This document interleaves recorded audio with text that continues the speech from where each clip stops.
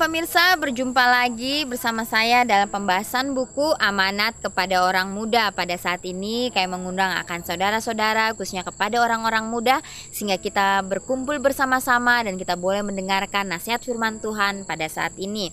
Kita akan masuk ke pasalnya yang ke-89 judulnya Teladan Orang Efesus ya. Tak kala orang-orang Efesus ditobatkan, mereka segera mengubah kebiasaan dan kelakuannya dengan tempelakan roh Tuhan. Mereka bertindak dengan segera dan membukakan segala rahasia obatannya. Mereka datang dan mengaku dan menunjukkan segala perbuatannya, lalu jiwanya dipenuhi dengan murka yang suci karena mereka sudah pernah menyerahkan dirinya sedemikian rupa kepada ilmu sihir dan sudah mengagungkan buku-buku yang berisi peraturan-peraturan yang sudah direncanakan oleh setan dan telah mengatur jalan-jalan yang memungkinkan mereka dapat menjalankan ilmu. Mereka telah memutuskan untuk tidak lagi melayani pekerjaan si jahat. Lalu dibawanya buku-buku yang mahal itu dan dibakarnya di hadapan orang-orang banyak.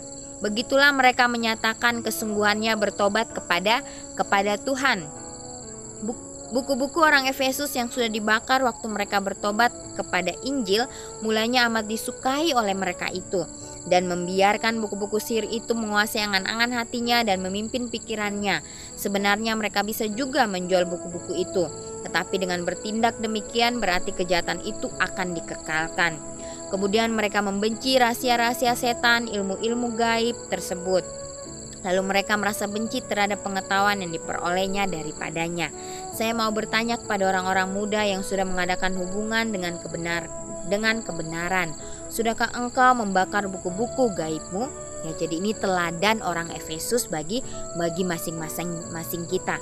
Ya, mereka juga dipengaruhi oleh buku-buku buku-buku gaib atau buku-buku sihir. Ya, dongeng-dongeng, cerita-cerita omong kosong. Ya, pada saat itu ya mereka sadar sehingga mereka membakar buku-buku yang membawa ke mereka yang membawa mereka jauh daripada daripada Tuhan. Ya bisa saja mereka ambil dan menjual buku itu, tetapi mereka tidak mau karena mereka akan membiarkan ya kejahatan itu akan akan menjalar kepada orang lain. Akhirnya mereka memutuskan untuk membakar buku-buku gaib mereka. Jadi ini pertanyaan bagi masing-masing kita. Sudahkah kita ambil buku-buku yang tidak berguna itu dan kita buangnya dan kita membakarnya. Biarlah kita gantikan itu dengan nasihat firman firman Tuhan. Ya buku-buku gaib zaman sekarang Kami tidak menuduh engkau berbuat kejahatan seperti yang sudah diperbuat oleh orang-orang Efesus itu Atau menyalahkan engkau sudah menjalankan ilmu gaib dan memegang ilmu sihir seperti yang sudah mereka lakukan. Kami tidak mungkin kami tidak mengatakan bahwa engkau sudah menurut ilmu-ilmu tenung atau mengadakan perhubungan dengan roh-roh jahat. Tetapi apakah engkau tidak mengadakan perhubungan dengan pengarang segala kejahatan, dengan si pembuat rencana segala ilmu gaib dan ilmu yang keji-keji? Apakah engkau tidak mendengarkan bisikan-bisikan dia yang menjadi penghulu dunia ini, bahkan penghulu penguasa di udara? Apakah engkau tidak menuduhkan diri pada segala kepals kepalsuannya dan menyerahkan dirimu jadi wakil si jahat untuk melakukan hal-hal yang cocok dengan kehidupanmu sebelum engkau bertobat?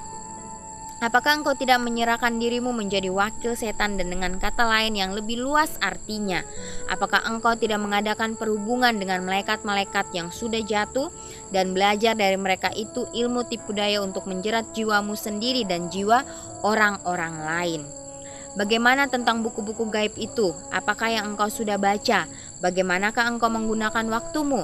Adakah engkau berusaha hendak mempelajari kitab suci supaya engkau boleh mendengar suara Tuhan bicara kepadamu melalui kitabnya? Dunia ini dibanjiri buku-buku yang menyemarkan benih-benih benih-benih siak kuasaka, ketidaksetiaan, ate ateisme, menyangkal akan adanya Tuhan, dan banyak sedikitnya engkau sudah mempelajari pelajaran buku-buku tersebut, dan itulah buku-buku gaib.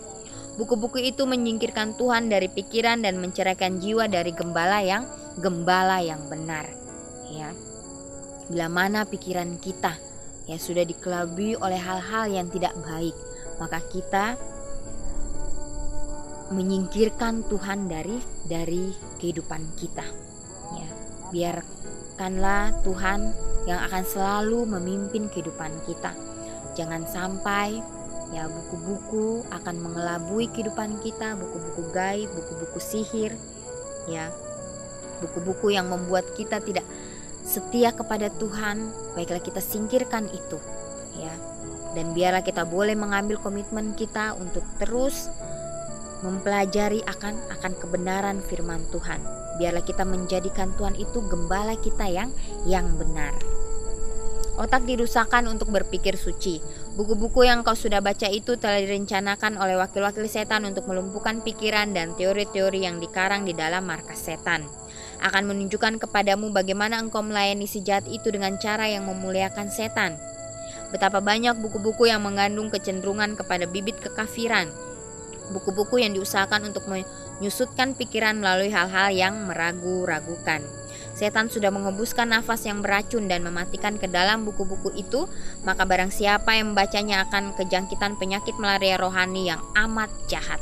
Ya, jadi ini bila mana kita sudah membaca buku-buku yang tidak mengandung akan kebenaran firman Tuhan, maka di situ ya kita sama seperti terjangkit penyakit malaria rohani yang yang mematikan kehidupan kita betapa banyak buku-buku fiksi dalam dunia ini yang mengisi pikiran dengan perkara yang bukan-bukan dan kebodohan dan dengan demikian menimbulkan perasaan jemu terhadap perkataan kebenaran dan keadilan begitulah pikiran menjadi lemah untuk memikirkan perkara-perkara yang suci untuk penyelidikan kitab suci dengan sabar dan tekun yang menjadi buku petunjuk kita menuju jalan ke Firdaus, Firdaus Tuhan.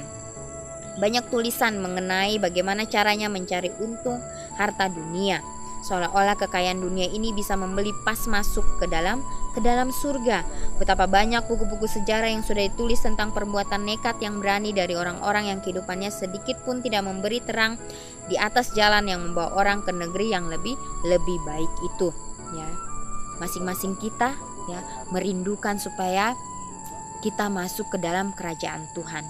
Ya baiklah, kita menyingkirkan akan setiap dosa-dosa kita kita menyingkirkan semuanya itu sehingga kita bisa menerima akan tempat di mana Tuhan sudah sediakan bagi bagi kita masing-masing ya buku yang menyesatkan betapa banyak buku-buku tentang perang dan pertumpahan darah ya yang menyesatkan pemuda kita ya khususnya kepada orang-orang muda pada saat ini ya berhati-hatilah dalam memilih buku buku bacaan kita ya.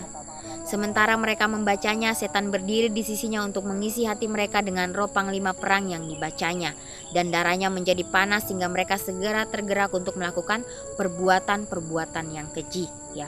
Dengan membaca ya, setan akan membuat kita ya mengelabui kita sehingga kita sama seperti kerasukan setan ya. Dan kita melakukan hal-hal sesuai dengan bacaan yang sudah kita baca ya Kemudian dikatakan betapa banyak buku-buku yang tidak senonoh, yang memimpin kepada keinginan yang cemar, yang membakar hawa nafsu hati dan memimpin orang yang jadi sesat dari jalan yang bersih dan, dan suci. Engkau sudah mempunyai buku-buku gaib, cerita-cerita dan gambar-gambarnya direncanakan oleh dia dahulu sudah pernah menjadi malaikat yang tertinggi di dalam di dalam surga ya memecahkan mantra ilmu sihir setan. Saya mau bertanya, ya hendakkah buku-buku gaib itu dibakar saja habis di dalam masjid setan ada ditaruh tempat-tempat untuk menarik hati di mana percabulan dianjurkan dan dilakukan dengan leluasa tetapi di sana ada saksi tamu yang tidak kelihatan itu menyaksikan perbuatan-perbuatan yang dilakukan di dalam gelap. Setanlah yang mengetahui dan dia pula yang mengepalai segala pertunjukan keramaian itu. Di sana dia berada dengan jalan menyamar, ya. Di kiri kanan kita bergentayangan ilmu sihir dan dunia maupun gereja berada di bawah pengaruhnya.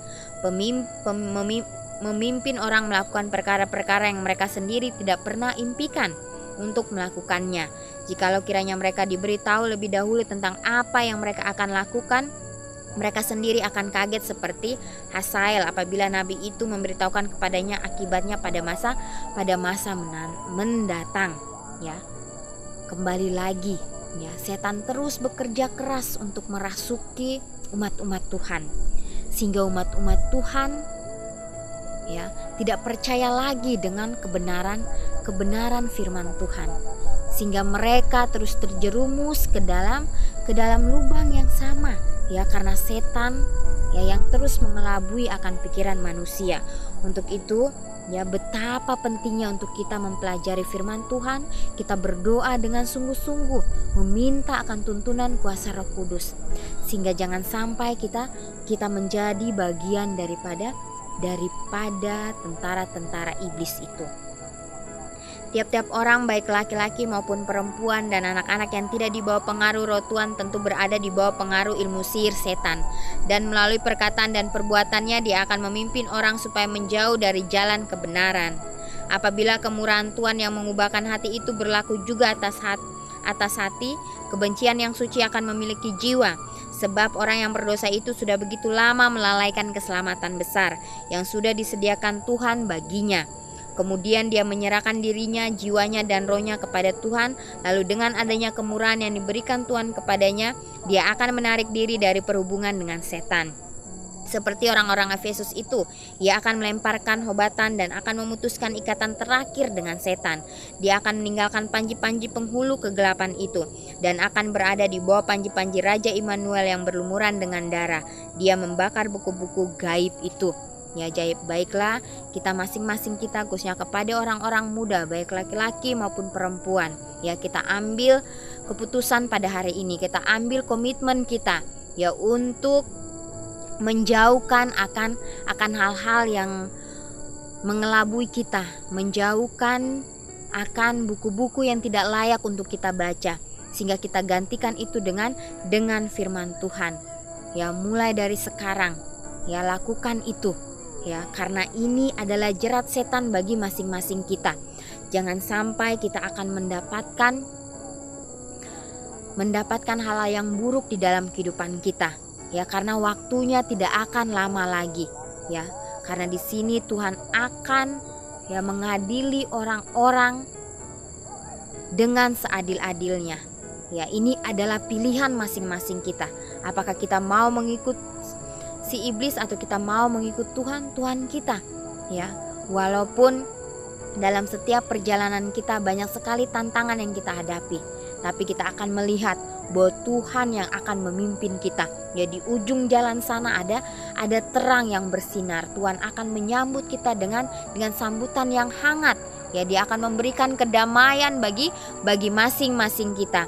Untuk itu baiklah kita pada saat ini bila mana kita mendengarkan nasihat firman ini Biarlah kita berdoa dengan sungguh-sungguh sehingga Tuhan dapat memampukan kita untuk meninggalkan hal-hal yang buruk di dalam di dalam kehidupan kita.